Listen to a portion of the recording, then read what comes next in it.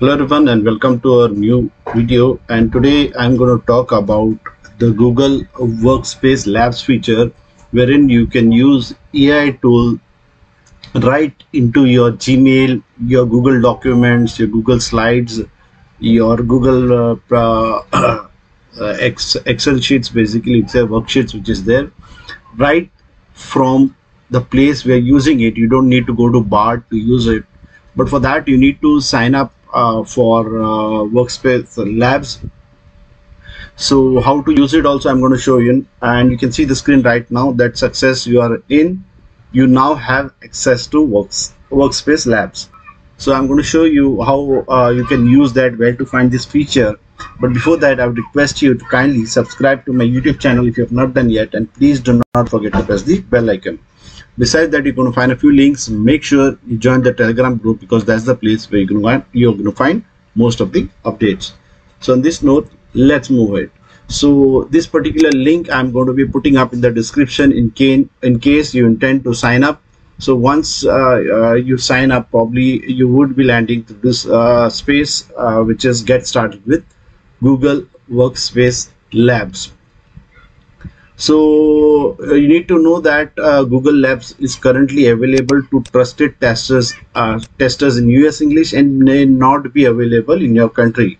To check if you have access in workspace lab features open a document and look for help me write labs. So this is what you're going to be looking across. I'm going to show you in the document to start off. And now uh, what are the things you can do with google labs uh, ai basically? So you can see uh, here's a quick uh, run through what you can do. You can quickly write or find your emails in gmail? Use writing in ai google docs. Create images in ai slides. Organize with uh, ai google sheets. Enhance smart fill with google sheets. Create background with google meet. And look for your studio look in google meet so from this i would be eliminating the google uh, gmail part of it because uh, to show you that i would be taking you to need to take you to my gmail uh, which contains uh, some confidential info. So i'm not so i've opened a blank folder into google drive and i'm going to show you how you can use uh, you can see i've already signed up for this. So how you can use it? I would go to a new. Let's ex uh, explore this first google docs blank document. So once you open the document you see over here you will see this particular editor and help me write. So this is uh, if you can see this that means your uh, AI tool is uh, working over here. So if you click directly over here you can see on the left hand corner over here if you click this again your uh, AI tools would be active now this is just as you would do in google bard. You don't need to go to bard. You just come over here. Now let us try a few things. If you see help me write create an invoice template uh, interview thank you letter recommendation letter for my teammate uh, applying for tracker for applying jobs. So let's uh, try this out first. Uh, write application for a job for the post of a clerk. Create. So you can see over here that in the meanwhile it's going to create a thing like let's uh, while it's creating we go to a new google sheet. Blank spreadsheet. I will also open this. Is to save on time new google slides uh, blank presentation so let that it's i think it's already done but in the meanwhile i'm going to create some prompt over here. You can see help me organize. Here are the prompts what you can see. Uh, you can create your own i would say you know i want uh, hmm, create a budget for a family of four for a trip to Switzerland. Create. It's going to be working on. In the meanwhile, we'll go to a bank presentation. You can see, help me visualize over here. uh, okay I want uh, I want a corporate environment of people working in a conference room. Now you can always add a style over here photography background vector. I'll choose photography over here and create. So let's go back to the doc first over here. So you can see write application for a job for a post of a clerk.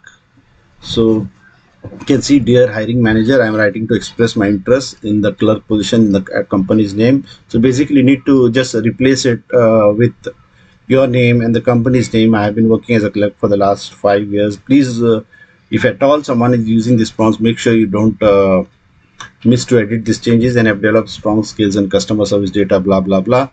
In previous uh, this thing uh, wherein you're expressing your uh, roles over here and uh, finally sincerely your name etc so you can see you can always rate these suggestions over here. It's a good suggestion or you can this thing so that the AI it improves then you can uh, this is for creating writing not intended to be factual. So this is a disclaimer.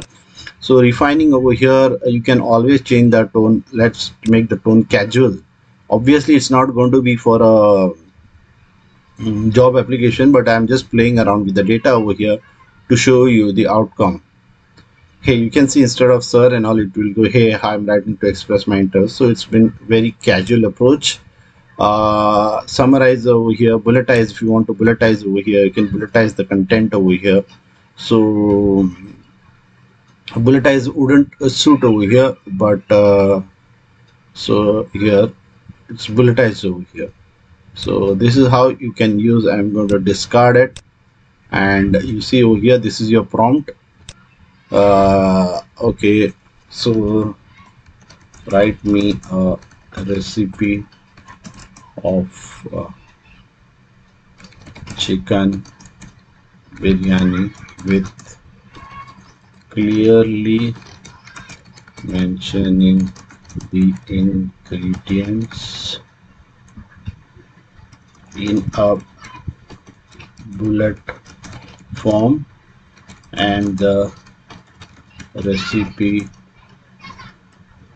in step by step form. Okay so let's go and uh, check this out.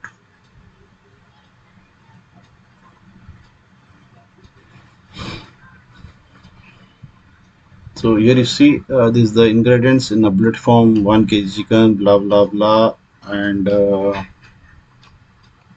you can see all the ingredients over here. Instructions marinate the chicken heat the oil this does this. So you can see your recipe is ready over here. So this is how you can use this particular uh, feature of AI within the Google Docs. Now it's just up to your imagination how you want to see it whether you don't need to go separately to Bard you can work your way out straight over here. Coming now to the spreadsheet uh, you can see we had asked for a budget organizers here so let's uh, click over here. So preview insert I'll say insert. Okay so you can see over here like uh, it has categorized transportation accommodation food activities souvenirs miscellaneous and all. So transportation uh, this is done approximately this is just a template which has been created. You can go ahead and edit it or change it to your liking over here. So you can change over here miscellaneous. You can see click over here and uh, you can add data variation rules over here too and uh, you can continue with other functions over here so we have seen the Google Docs, we have seen uh, spreadsheets. I'm not going to be taking you to the email over here uh, for now. I had managed to create an image. Let's try it out again.